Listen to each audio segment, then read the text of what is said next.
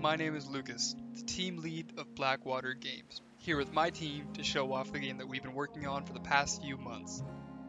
A lot of blood, sweat, and tears have gone into this project, so I hope you enjoy. The title of our game is Scavengers Deep.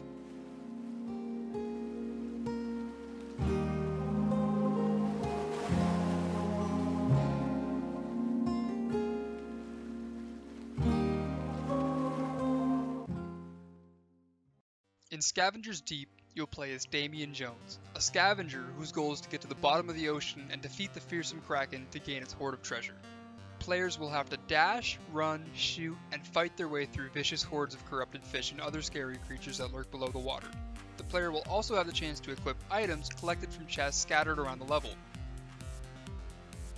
and bought from the shop using fish scales as our currency.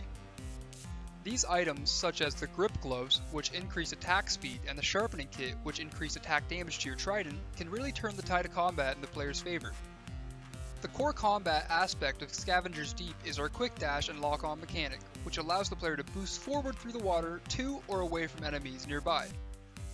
Using this dash will allow the player to traverse through the levels quickly and engage in combat in unique and interesting ways. The player will move through different levels like the Coral Reef,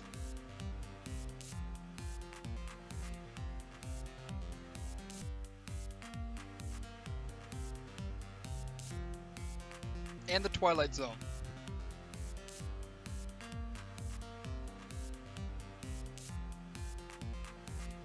All leading up to the end of our game, the Kraken's Lair.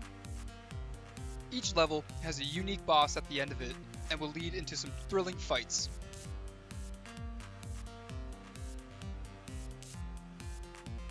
I hope this video has piqued your interest in our game, and I really hope you can come on by and dive into our game. Thank you so much for watching.